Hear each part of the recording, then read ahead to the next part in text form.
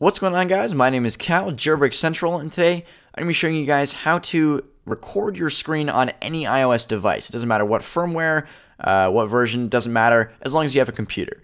Um, so to start off, we're going to be using an application called QuickTime Player. Um, it comes pre-installed on every Mac, so you probably already have it. If you have a PC, you can go ahead and install that um, from somewhere online. I'll probably put a link uh, to a uh, an installation in the description of this video if you want to get it. So go ahead and click on QuickTime and then click on File, New Movie Recording, and you will get a, uh, a window. It should automatically default to the camera on your computer if you have a Mac. Uh, that's the FaceTime HD camera.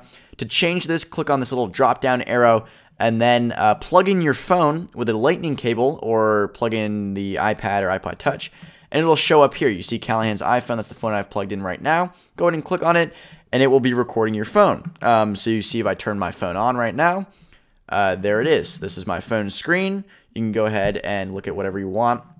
Uh, the audio levels you can change as well to my phone, which is kind of cool. Um, but that's sort of uh, not that great of a microphone, so I'd recommend something else. But that is also how you change that.